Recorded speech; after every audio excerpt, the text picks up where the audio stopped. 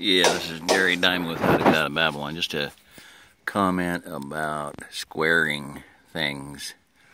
Um, you can square the corners, but you have to have it exact to be square. And to do that, you measure the diagonals. And I worked in uh, installation of interior storm windows.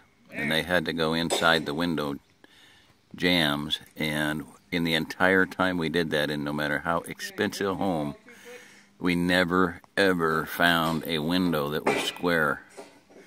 Some of them were pentagonal, some of them were not pentagonal, what would be um, uh, trapezoidal, and some of them were obtuse, some of them were diamond shaped. You know, when you drew it out, they were uh, just off.